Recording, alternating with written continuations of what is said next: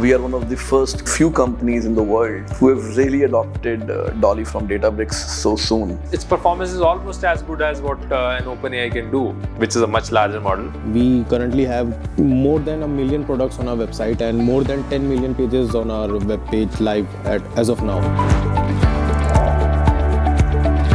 For the last three years, our team of data scientists, our data engineers, all of us have been working very hard and we've been trying to uh, build a portal which can essentially read thousands and millions of reviews across millions of products and figure out what are the specs of those products, the pros, the cons. A product can have uh, somewhere between 100 to 5000 reviews and a human can't review everything for each product. Databricks has made it very easy. They have sort of uh, created a full integrated pipeline. You can use the lakehouse to store the data, use Databricks to do an ETL, find out your relevant portions of, of data, give it to a large language model, fine tune that large language model, use it there. All that flow could be monitored uh, within Databricks framework uh, with MLflow to manage everything.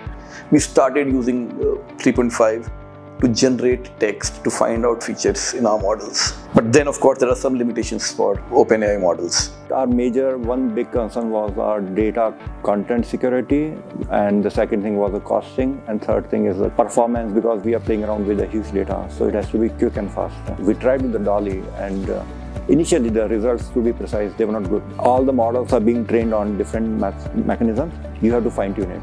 Once you fine-tuned it, the results were exceptional and uh, far beyond our expectations. Shorthills have been kind of highly enthusiastic in uh, trying out new technologies. Uh, the day uh, the new model comes into market, we are, I believe, we are the first of the customer of using these kind of